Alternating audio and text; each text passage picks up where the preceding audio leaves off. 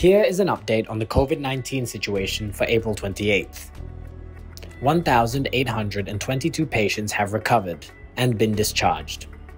This brings the total number of recoveries to 373,397 cases, or 93% of total cases.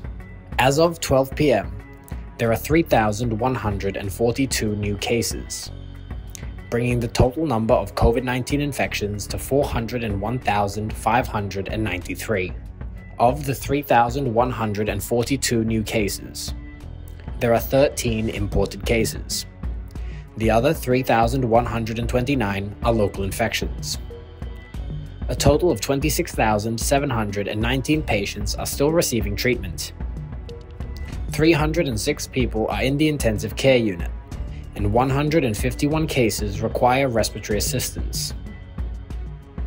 There are 15 new COVID 19 deaths, which brings the death toll to 1,477 or 0.37% of the total number of cases.